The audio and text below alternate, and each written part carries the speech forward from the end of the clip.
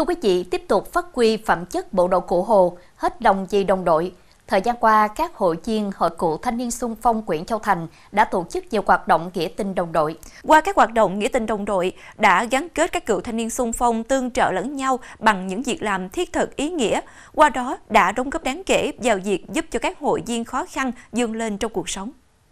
Để giúp hội viên còn khó khăn, các cấp hội cựu thanh niên xung phong trong quyện đã quy động sự nhiệt tình trách nhiệm của hội viên để đóng góp vào quyển nghĩa tình đồng đội. Theo đó, mỗi hội viên đã tự nguyện đóng góp 100 đến 150 ngàn đồng một người một năm. Nhiều hội viên khá giàu còn song sáo đóng góp số tiền lớn hơn rất nhiều. Số tiền này, các cấp hội đã giúp cho nhiều hội viên khó khăn mượn vốn không lời để phát triển kinh tế hộ gia đình, như chăn nuôi, cải tạo trường tạp, mua bán nhỏ lẻ, qua hoạt động quỹ nghĩa tình đồng đội cho hội viên mượn vốn xoay vòng từ 6 tháng đến 1 năm thì hoàn trả lại hội. Qua đó, Hội cựu thanh niên xung phong quyện Châu Thành đã giúp các hội viên có hoàn cảnh khó khăn có thêm điều kiện động lực dâng lên trong cuộc sống.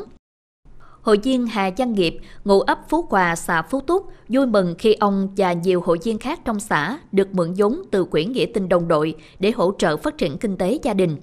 Từ năm 2018 đến nay, nhờ được tiếp nhận nguồn quỹ Nghĩa tình đồng đội, ông Nghiệp đã có thêm vốn để mua phân bón, cây con giống về cải tạo lại vườn dừa của mình. Hiện vườn dừa đang phát triển khá tốt, cho trái chiến đã đem lại nguồn thu nhập ổn định cho gia đình. Cái nghĩa tình đồng đội thì thấy nó rất là là, là thánh thiết với ờ, tình ờ, đồng chí ờ, giúp đỡ lẫn nhau rất là nhiệt tình ừ, cái cái tiền tuy nó không lớn nhưng mà nó rất là hiệu quả cho cái công việc mà cải tạo vườn để nâng cái kinh tế gia đình rất là là, là cao. À, cái nghĩa lớn nhất của cái quỹ đồng đội thì nó có cái là à, tình cảm rồi á, là liên kết với nhau để đặng giúp với nhau thì à, cũng như à, thí dụ giờ mượn 5 triệu 3 triệu nó không có lớn không làm ăn được nhưng mà người ta sẽ tin tưởng vào cái chỗ là đây người ta sẽ vượt lên được ví dụ buôn bán nhỏ lẻ chút đỉnh hoặc là mua dê mua à, heo nhỏ nhỏ nuôi cũng có thể là vượt lên được cái cái chỗ khó khăn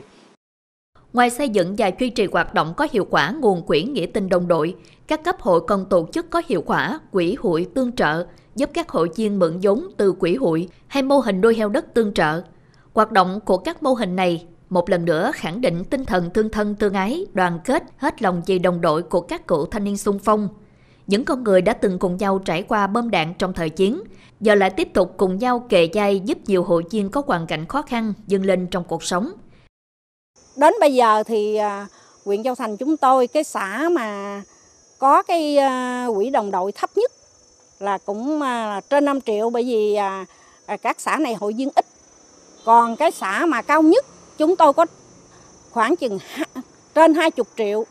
Bây giờ tổng cộng cả huyện chúng tôi là mấy trăm triệu mà chúng tôi, con số này chúng tôi ờ, chưa có ờ, nói ờ, nói chính xác thì án chừng trên trên 100 triệu. Thì trên 100 triệu này chúng tôi đã đưa xuống hết cho các hội viên đang gặp khó khăn mỗi xã đều có cái danh sách cụ thể, là có những cái kế hoạch cụ thể đưa xuống từng hội viên để phát triển kinh tế gia đình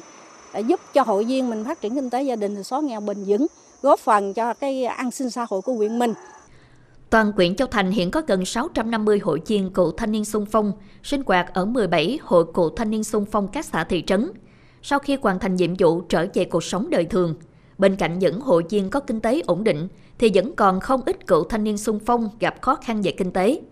Chính vì vậy, hoạt động nghĩa tình đồng đội luôn được xem là nhiệm vụ hàng đầu của các cấp hội. Với cách làm phong phú, đa dạng của các cơ sở hội, đến nay các cấp hội cựu thanh niên sung phong đã góp phần kéo giảm hộ nghèo, cận nghèo của quyện. Đối với các hộ nghèo, cận nghèo này, trong thời gian tới, các cấp hội sẽ hỗ trợ nguồn vốn vay không lãi suất từ quỹ nghĩa tình đồng đội, cho mượn tiền từ mô hình hội tương trợ